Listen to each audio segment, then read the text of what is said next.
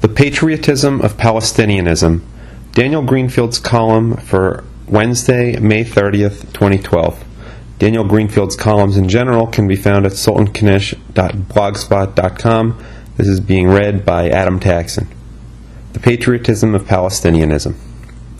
Each century brings forth its own patriots. Once upon a time we had Patrick Henry. Now we have Senator Patrick Leahy, who declared in the Senate that his opposition to an amendment that would distinguish how much of the UNRWA's funding goes to actual refugees versus fake refugees was a patriotic act. I always look at what is in the United States' interests first and foremost, and this would hurt the United States' interests, Senator Leahy uh, stated firmly. It is, of course, difficult to find as compelling a national interest as the UNRWA, a refugee agency created exclusively for the benefit of 5 million Arabs, approximately 30,000 of whom are actual refugees, but all of whom hate the United States.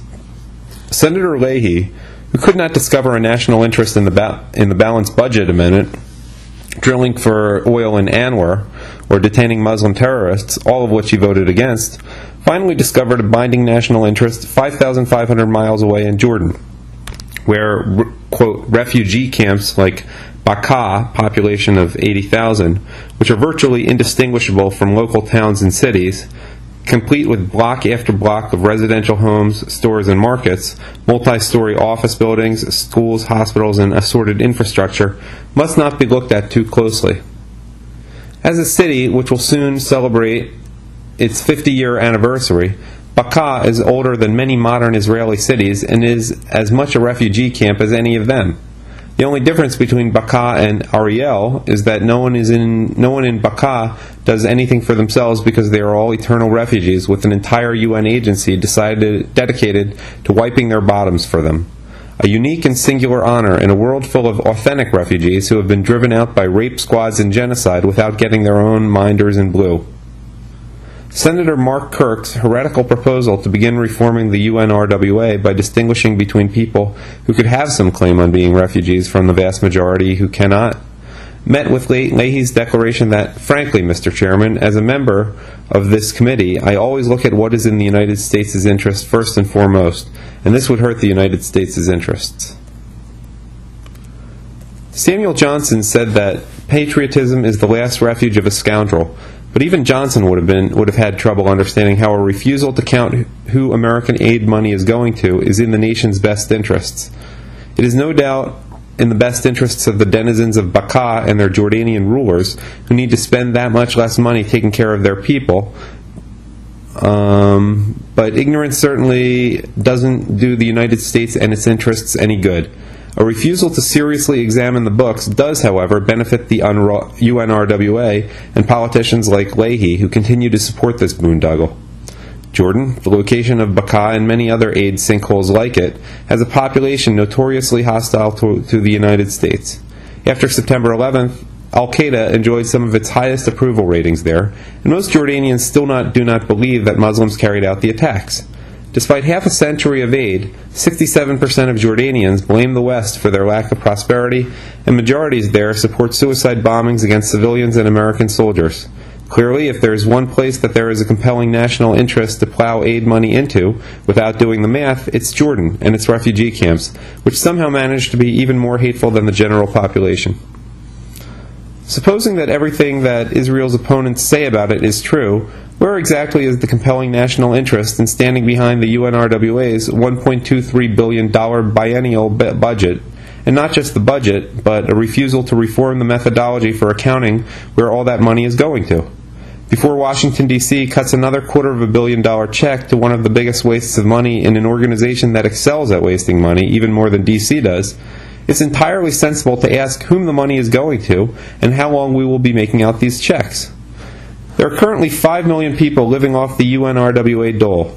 Sooner or later, there will be 50 million. Jordan's government has done everything possible to inflate the UNRWA welfare rolls and keep cities like Baqa'a and their people the responsibility of Western nations. One day, the Jordan government, the British appointed monarchy ruling over the original Palestinian state, may decide to give up the farce and put all their people on the UNRWA rolls as refugees. And we'll have to keep on paying without asking any questions. After all, it is in our national interest. Thomas R. Nides, the Deputy Secretary of State, took a position against the amendment, calling the number of refugees a, quote, final status issue, end quote, that can only be resolved when Israel and the PLO militias complete their negotiations at some unknown date. Diplomats have developed a bad habit of insisting on a dysfunctional status quo tilted toward the Muslim side until the Messiah of final status finally comes. There can be no Jewish housing in Jerusalem because it's a final status issue. We can't count the refugees because it's a final status issue. And we can't question the final status because that too is a final status issue.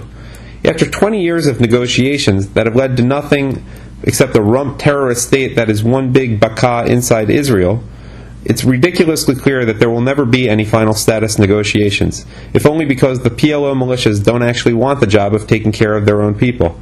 Even if they did, in less than a decade, the PLO thugs in suits, subsidized, armed, and trained by the West, will be consumed by Hamas, and Hamas, despite whimsical statements from Peter Beinart to the contrary, has no intention of entering into final status negotiations.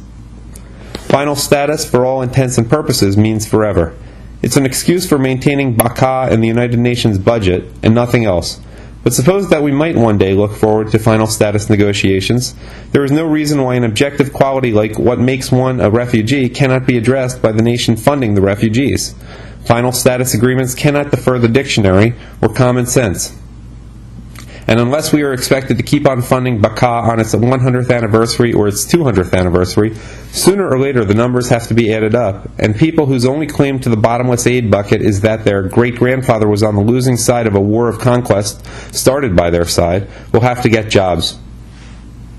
According to Senator Leahy, raising such issues is not in America's national interest, but apparently it is in America's national interest to keep on funding the UNRWA which employs terrorists and acts as a welfare state for some of the most anti American people in the world. But Palestinianism, as patriotism, is not an original formulation.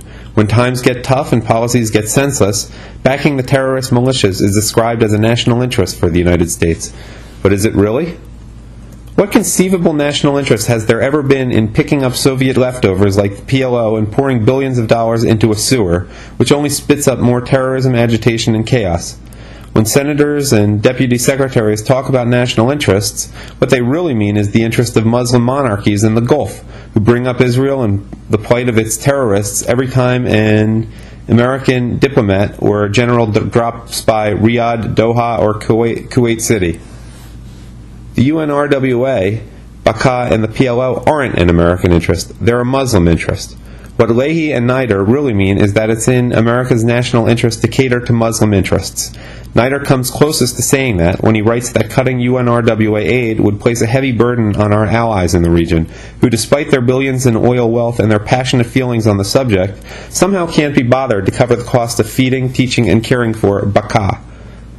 The King of Jordan, found $1.5 billion to build the Red Sea Astrarium, a local version of Disneyland. But the Hashemite monarchy, like the House of Saud, the Al Thanis, the House of Sabah, and every other bunch of Burnous tyrants with palaces and investments across the world, can't be asked to care for their own people in their 50 year old refugee camps, who are kept that way because it's an easy way to sock the gullible West for another few billion dollars to fund their terrorist training bases. Even if there were a valid reason for the United States to champion Muslim interests by carving up Israel in order to create yet another Sunni Muslim state, it would not be a national interest, it would be appeasement. Palestine is as much in America's national interest as the Sudetenland was in Britain's national interest. A foreign policy of feeding other people to do to the beast, in the hopes that he won't feed on us, is not a national interest. It's craven cowardice that has no hope of succeeding.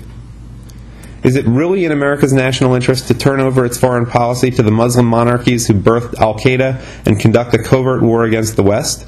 Is it in our interest to keep funding terrorist training camps like Baqa'a without asking any questions? And are politicians like Senator Leahy, who treat questioning the UN bureaucracy that has empowered terrorists while draining budgets as an unpatriotic act, the real patriots or are they the pawn of pawns of tyrants who have uh, one hand on their shoulder and the other on the knife in their back? After World War I, King Faisal conspired with British officers to proclaim himself the ruler of United Syria, a territory that was to include Syria, Lebanon, Jordan, Israel, and parts of Turkey. Faisal couldn't keep his kingdom, and the Hashemites eventually lost everything else, including Saudi Arabia and Iraq. All they have left is Jordan, country whose population is indistinguishable, indistinguishable from the Arab Muslims on the Israeli side of the border, and a crown secured by American aid and the fiction that a country where 70% of the population sees themselves as Muslims rather than Jordanians has a future. The only difference between the Hashemites and the houses of Saud, Sabah, and Thani is oil. America ships money and soldiers to the Gulf, and the Gulf monarchs ship back terrorists, oil, and mosques. That's the formula that got us into two, into two Gulf wars, one war on terror and a clash of civilizations. And men like Senator Leahy insist that we shouldn't scrutinize the disastrous policies that the Arab League, the cat's paw of the Gulfies, has pawned off on us, and that doing so is somehow unpatriotic. Gulfism in all its forms, whether it's Syrianism, Palestinianism, or the jack of all trades, Islamism, is not patriotism. The future of the United States will not be secured by turning Washington, D.C. into the front office for a bunch of medieval tyrannies that have no future.